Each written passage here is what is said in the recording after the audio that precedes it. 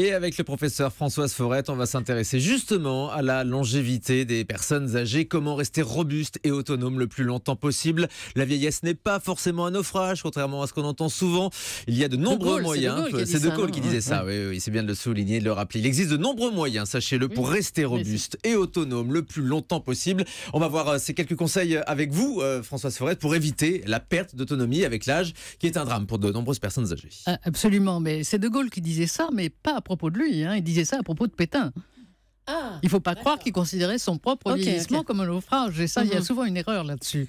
Euh, mhm. en disant, bah, si même De Gaulle le dit, c'est vraiment que ça doit être un naufrage. non, non, mal interprété. Non, non, c'est pas direct de l'histoire ce matin. Bravo, Françoise. Bravo Françoise. Alors d'abord, il faut définir ce que c'est qu'un seigneur robuste.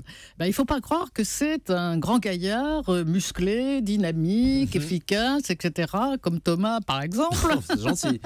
pas du tout. Une personne âgée robuste, c'est une personne dont les réserves physiologiques font qu'elle peut réagir favorablement à un stress. Quand on parle de réserves physiologiques, on veut dire par exemple les fonctions immunitaires qui permettent de répondre à une, infection, ou bien la, la, production hormonale qui reste quand même à un certain âge. Donc c'est ça, une personne âgée robuste. Ça n'implique pas du tout l'absence de maladie. On peut être robuste et avoir une arthrose de hanche, on peut mhm. être robuste et être hypertendu, c'est autre chose.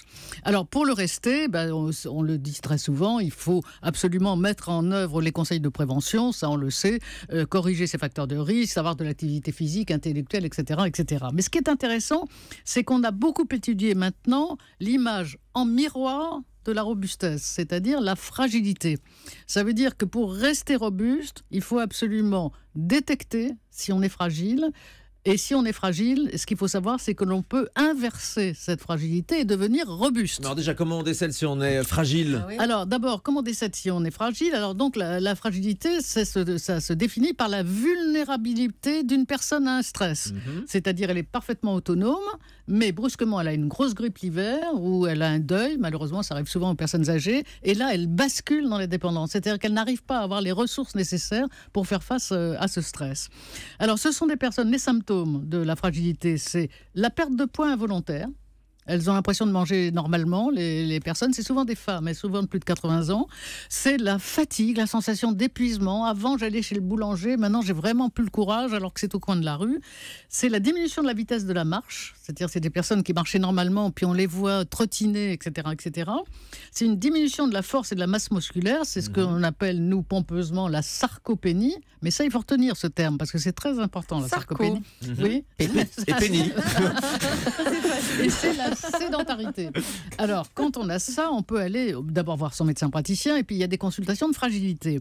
Mais ce qui est intéressant à l'heure actuelle, c'est qu'on étudie une autodétection de la fragilité. Comment savoir si moi je suis fragile? Alors, il y a un questionnaire qui est en cours de validation, qui est intéressant. Et avec trois questions, on peut savoir si on est fragile ou si on n'est pas fragile. Vous les avez, ces questions? Bah, Bien sûr. C'est est-ce que vous avez perdu du poids euh, sans le vouloir depuis un ou deux ans? Par exemple, 2,5 kg euh, si vous pesez 50 kg.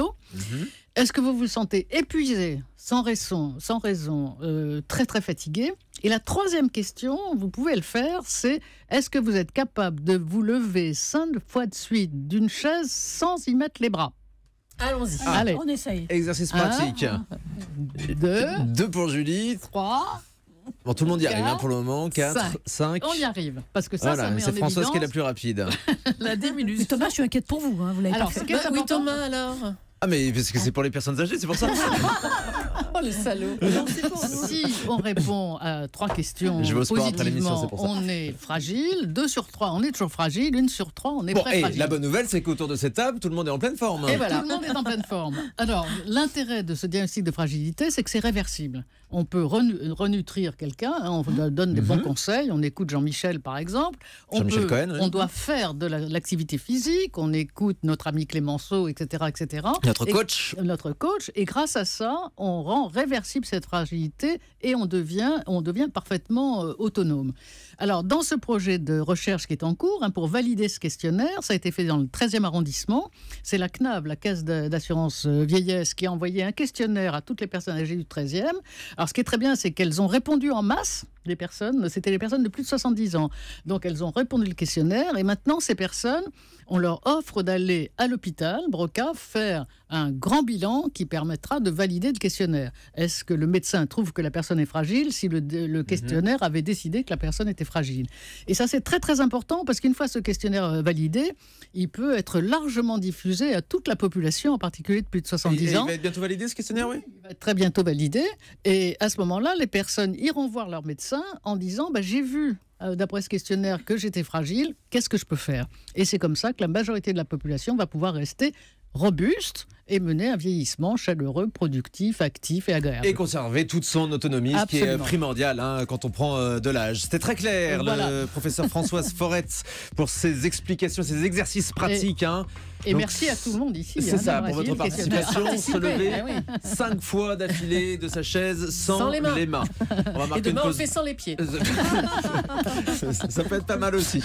Allez, je vais faire l'exercice pendant la pause de pub et on va se retrouver dans un instant avec euh, le docteur Catherine Solano qui va nous expliquer ce matin comment bien faire l'amour. Là aussi, il y aura des exercices pratiques. À tout de suite.